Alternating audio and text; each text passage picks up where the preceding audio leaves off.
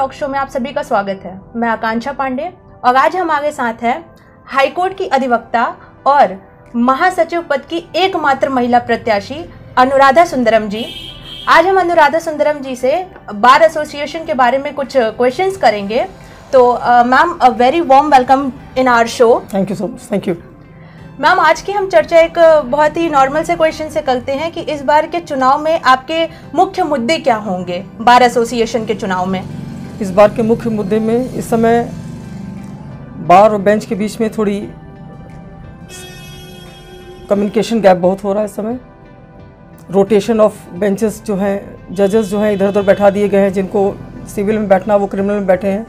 Bell की reporting anticipatory bail में decisions order दे से लोड हो रहे हैं लोड हो रहे हैं। और जो रिपोर्टिंग होती है, पहले होता था मुकदमा, जैसे आज दाखिल करिए, परसों हो जाता था। जी।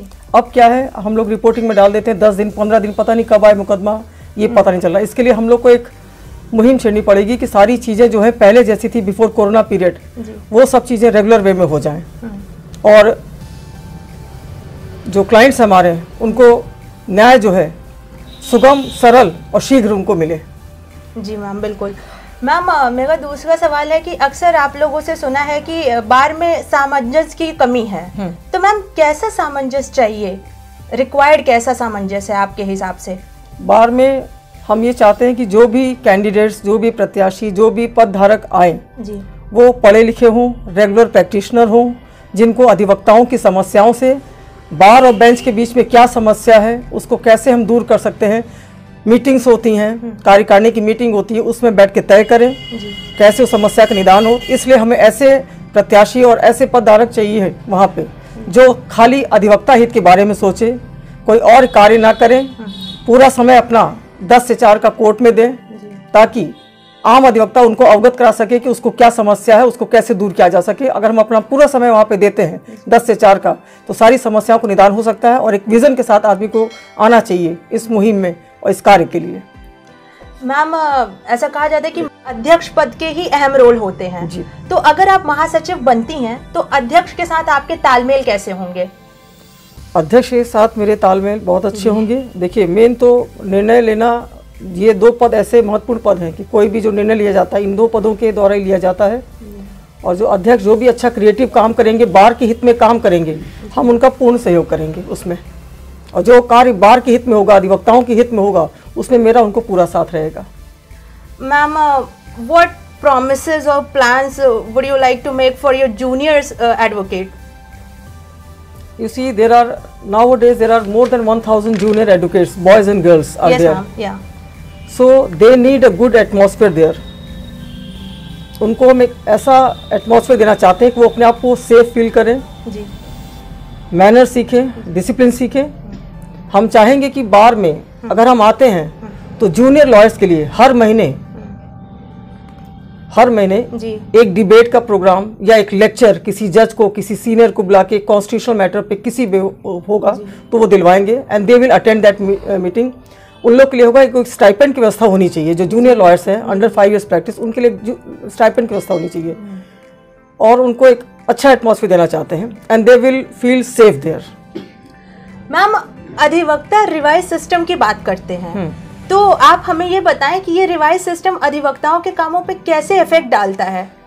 अच्छा पहले होता था कि जैसे मैटर्स हम लोग के होते थे चाहे फ्रेश केसेस हों चाहे लिस्ट लिस्ट के केसेस हों जी। अगर हम नहीं पहुँच पाए किसी कोर्ट में तो वो रिवाइज में हो जाता था। जी। आजकल क्या होता है कि वो जो मैटर हैं हम्म, वो दो दिन तीन दिन बाद आते हैं। उसका रोटेशन जो है गैप के बाद होता जी है। जी उससे क्या होता है न्याय मिलने में क्लाइंट को दिक्कत होती है।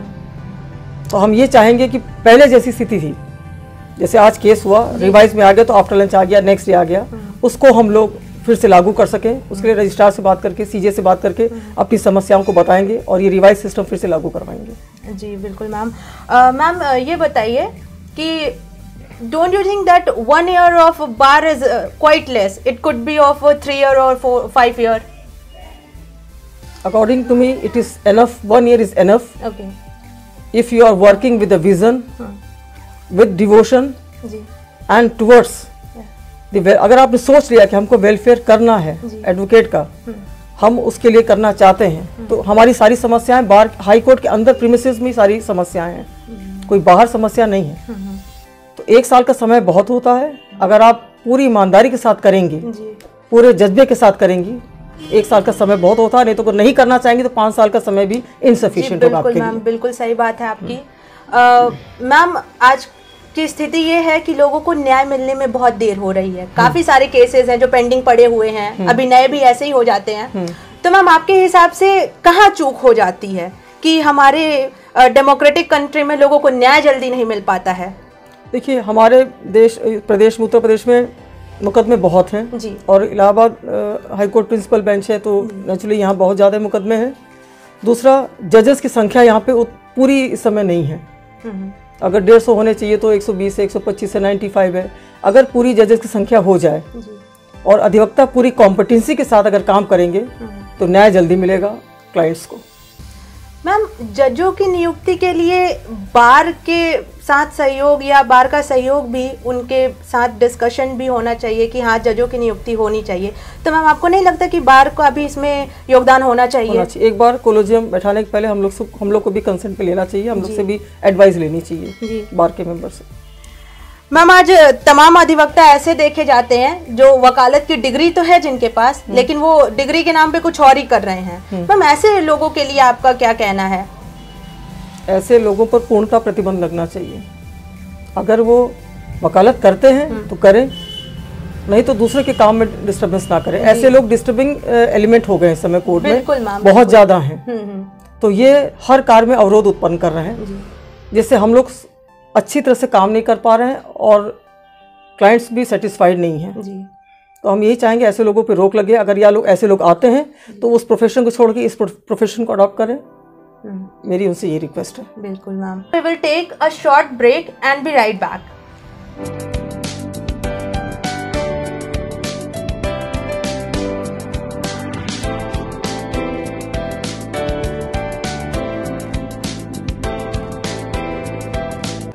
break के बाद आप सभी का स्वागत है। तो हम अपनी चर्चा को आगे बढ़ाते हैं। और मैम मेरा आपसे अगला सवाल है कि आपके हिसाब से पिछली बार कमेटी की गड़बड़ियाँ क्या थीं जो कि इस बार नहीं होनी चाहिए थी? देखिए अब हम किसी पे मतलब ना तो हम एनालाइज कर सकते हैं ना कुछ उनके बारे में कह सकते हैं। जी जो भी आता है बहुत सारे वादे करता है कि हम ये कर देंगे अधिवक्ता हित में वो कर देंगे। लेकिन मेरा फिर से आपसे कहना है कि मेरा एक विज़न है हम इस बार के लिए अपनी संस्था के लिए अपने अधिवक्ता भाइयों बहनों के लिए बहुत कुछ करना चाहते हैं। जब तक हमको पद नहीं मिलेगा और जब तक हमने बताया कि मेरा अगर इंटेंशन नहीं होगा काम करने का तो पिछली कार्यकारिणी ने कुछ कार्य अच्छे किए हैं। कोरोना का काल था उस समय जी जी। जो उनको कार्यकाल मिला। हम ये भी नहीं कहेंगे कि उन्होंने कुछ नहीं किया। जी। उन्होंने अपने हिसाब से बहुत कुछ किया लेकिन फिर भी कुछ कमी रह गई। जी मैम अगर हम आते हैं तो उस कमी को हम पूरी करने की कोशिश करेंगे क्योंकि हम एक विजन लेके आ रहे हैं अधिवक्ताओं के लिए काम करने के लिए। मैम आप इस बार दूसरी महासचिव महिला के कैंडिडेट हैं। तो मैम आपके हिसाब से राजनीति में महिलाओं की स्थिति क्या है और कैसी होनी चाहिए? देखिए अभी सीजीआई ने भी कहा था कि जुडिशरी में हाँ। महिलाओं को रिजर्वेशन मिलना चाहिए फोर्टी फिफ्टी जी जी परसेंट जी मैम। तो हमारी भी यही सोच है कि महिलाएँ आगे आएँ। हम्म, राजनीति में आ रही महिलाएँ इस समय देखिए। चाहे बीजेपी हो सपा हो बसपा हो कांग्रेस है प्रियंका जी ने नारा भी दिया है लड़की हूँ लड़ सकती हूँ। जी जी तो उन्होंने भी रिजर्वेशन दिया है इस बार विधानसभा चुनाव में। तो जुडिशरी में भी लड़कियों का पूरा योगदान होना चाहिए लेकिन उनको अपॉर्चुनिटीज़ नहीं मिल रही यहाँ पे। हमारे यहाँ एलिवेशन में भी लड़कियों का नाम जाता है। हम्म, पता नहीं क्या होता है कि उनका नाम फिर बाद में काट दिया जाता है। हमारे यहाँ बहुत दुर्भाग्य बात है कि रामो देवी गुप्ता जी के बाद आज तक कोई भी महिला डेजिग्नेटेड एडवोकेट नहीं हुई है। हम्म, जबकि बहुत कॉम्पिटेंट चार पाँच महिलाएँ हैं जो अबाउट सिक्सटी ईयर्स की हैं। हम उनको तेईस साल से देख रहे हैं। जी। तो हम चाहते हैं कि वो लोग भी आगे आए उनका भी नाम जाए उनका भी योगदान जुडिशरी में उनका योगदान रहे पूरी तरह से। जी मैम तो हम चाहेंगे कि महिलाओं के लिए हम कुछ करें। हम्म, उनको भी पुरुषों के साथ समानता मिले जुडिशरी में भी। बिल्कुल मैम हर जगह लड़कियाँ महिलाएँ अच्छा कार्य कर रही हैं। जी मैम। तो उसको देखते हुए हमें लगता है कि न्याय के इसमें मंदिर में भी हम लोग को भी पूरा न्याय के मंदिर में कैसे पीछे रह जा रही हैं महिलाएँ? देखिए इस समय करीब जो वोटर लिस्ट आई है साढ़े नौ से दस हज़ार इसमें टोटल वोटर्स हैं। जी। महिलाओं का इसमें जो है 500 से साढ़े पाँच सौ के बीच महिलाएँ तो साढ़े पाँच प्रतिशत जो है महिलाएँ इस समय रिप्रेजेंट कर रही हैं। ओवरऑल हज़ार के ऊपर महिलाएँ हैं। टोटल पंद्रह सोलह हज़ार एडवोकेट्स हैं। लेकिन रिप्रेजेंटेशन उनका बहुत कम है। अच्छा। तो अगर एक हज़ार में अगर दस महिलाएँ हैं तो हम आप समझ लीजिए क्या स्थिति होगी। बिल्कुल मैम बिल्कुल मैं समझ हम पूरी कोशिश करेंगे कि अगर हम आते हैं तो महिलाओं को भी हम्म, पूरी पूरा अपॉर्चुनिटी मिलेगा उनको। They will also equal status along with the male lawyers Okay. Uh, then my ma'am, my next question will be: uh, What do you think about the party politics of uh, bar officers? What do you say about it? Meaning thereby political से उनका relation Obviously, ma'am, party politics. uh, Party politics. Ji if you are holding a post in the office ji of the bar association yeah. तो you should not indulge Hmm. In any other political activities आप उसमें participate कर सकते हैं लेकिन वो राजनीति इस इंस्टीट्यूशन की राजनीति से नहीं जोड़नी चाहिए। मैम वरिष्ठ अधिवक्ता और अध्यक्ष हैं आर के ओझा जी। मैम वो कहते हैं कि वो एक स्थायी परिषद का निर्माण करेंगे। तो अगर आप उनकी महासचिव बनती हैं तो क्या आप उनके इस फैसले से सहमत होंगी? ठीक है उस हम सहमत इसलिए हैं क्योंकि मान लीजिए बार एसोसिएशन में कोई समस्या होती है कोई चीज़ होती है तो हम परिषद के सामने जाके रख सकते हैं। जी। वो एक हमको प्लेटफॉर्म देंगे उस चीज़ को। तो we will follow that certainly ma'am parking का और चैम्बर का मुद्दा आपके यहाँ का पुराना भी है तो मैम ये कब खत्म होगा? ये तो देखिए अभी शायद पिछली कार्यकारिणी ने बताया है कि जी, जी। सरकार से बात हुई है दे विल अकोमोडेट देम अगर हम लोग को जाने के बाद कुछ ऐसा मिलता है जी। कि उन्होंने कुछ पैरवी करी है तो उसको आगे हम लोग बढ़ाएँगे और नहीं तो हम लोग आगे अपनी कोशिश करेंगे उसके लिए भी। मैम आप पदभाग जब संभाल लेंगी उसके बाद वादी और प्रतिवादियों के लिए क्या सुविधा देंगी आप? सुगम सस्ता और सहज न्याय। जी मैम। मैम आपको नहीं लगता कि जो भी बार एसोसिएशन के लोग हैं उनके और उनके फैमिली के लिए बार के तरफ़ से एक हॉस्पिटल होना चाहिए जहाँ पे उनको उनके परिवार को अच्छी हेल्थ की मेडिकल सुविधा मिले तो इस पे आपकी क्या राय है? और आप पदभार संभालने के बाद इस पे क्या काम करेंगी? नहीं ये देखिए इस चुनाव में सारे कैंडिडेट्स का। इंक्लूडिंग द प्रेसिडेंट के जो कैंडिडेट्स हैं सबका यही है कि एक हॉस्पिटल पंद्रह बीस बेड का होना चाहिए सारी सुविधाओं से लेस जी। और एक एंबुलेंस होना चाहिए। हम लोग अधिवक्ताओं के लिए एक हेल्थ इंश्योरेंस के लिए भी सोच रहे हैं। मेरा ड्रीम प्रोजेक्ट है अच्छा। कि हर अधिवक्ता कैशलेस कार्ड उसका बने मेडिकल हेल्थ कार्ड और he should be insured for two और थ्री लाख रुपीज़ ओके तो मैम इसी से एक जुड़ता सवाल आता है कि कॉलोनी की व्यवस्था भी उनके लिए होनी चाहिए। तो अगर आप पदभार संभालती हैं तो देखिए समस्या आपकी राय बहुत सारी डिमांड्स हैं। कोशिश पूरी रहेगी हम हर अधिवक्ताओं को कॉन्फिडेंस मिले के जी जी जी उनकी जो समस्याएँ एक पहल तो कर ही सकते हैं। अगर हम नहीं पूरा कर पाए तो हमारे बाद वाली कार्यकारिणी जो भी आएगी उसको पूरा करने की कोशिश करेगी। Ma'am at last your message for your advocates और टू द ऑडियंस अल जस्ट से भाई सत्रह साल बाद हम इस पद पे आ रहे हैं एक रेगुलर प्रैक्टिशनर हैं। जी। हमने बार एसोसिएशन के गवर्निंग काउंसिल के पद को भी सुशोभित किया है। मैं एक बार वाइस प्रेसिडेंट भी रही हूँ। मेरा कार्यकाल बहुत अच्छा था। किसी को कोई शिकायत का मौका नहीं मिला। तेईस साल की प्रैक्टिस हो गई मेरी और तीसरा महासचिव का चुनाव है। तो मैं कहना चाहती हूँ कि क्या एक बार मुझे मौका नहीं मिलना चाहिए? अगर मैं किसी उद्देश्य को लेकर आ रही हूँ, अधिवक्ताओं के लिए कार्य करना चाह रही हूँ तो क्या मुझे एक मौका नहीं मिलना चाहिए? अगर आप अधिवक्ता भाई बहन मेरे समझते हैं कि मैं उस पद के लिए योग्य कैंडिडेट हूँ। तो मुझे जिताने की कोशिश करिए। उन लोगों को आप लोगों को कोई निराशा नहीं होगी। मैं अपना काम ईमानदारी से करूँगी अधिवक्ता हित में करूँगी इंस्टीट्यूशन के लिए करूँगी।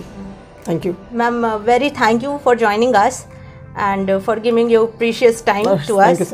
Thank you so much ma'am तो जैसा कि आपने अभी अनुराधा सुंदरम जी को सुना जिन्होंने अपने एक बहुत ही क्लियर विजन्स दिए हैं बारकोड बार एसोसिएशन के लिए। ऐसे ही लोगों से हम आपको रूबरू करवाते रहेंगे। आप बने रहे मनोज तिवारी टॉक शो।